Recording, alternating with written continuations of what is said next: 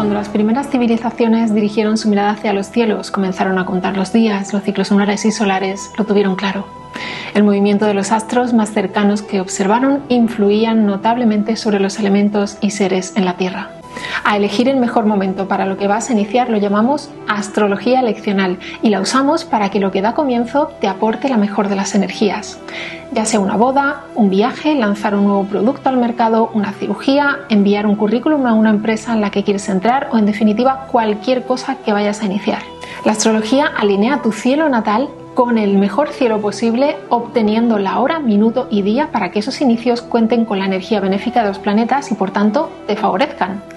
Y a entender eso, precisamente te enseño en el interior de estas clases. Inscríbete ahora y accede mientras las plazas están abiertas y antes de que cerremos.